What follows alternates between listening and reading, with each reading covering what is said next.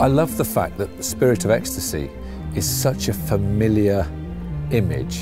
The word icon is overused in our culture, but it is an icon, and it is, it, it is an icon of, of art and design. That idea of lightness and speed and elegance is used as a springboard to commission contemporary designers to work in the spirit of the spirit of ecstasy. It takes textiles, really important aspect of design, often underplayed, and it gives some really interesting young designers the chance to play materially. So I love that connection between material science, design, and design thinking, and, and that lies at the heart of, of, of this project, I think. Do you know, one of the joys of judging this challenge is I have a sense of what they might produce, but I also think that they will surprise me.